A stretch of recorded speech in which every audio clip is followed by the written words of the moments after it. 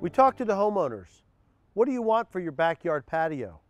They want scale, they want color, and they want texture.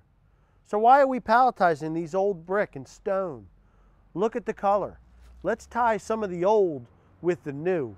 We got a beautiful brownstone and red that's going to complement our Monticello and chocolate brown.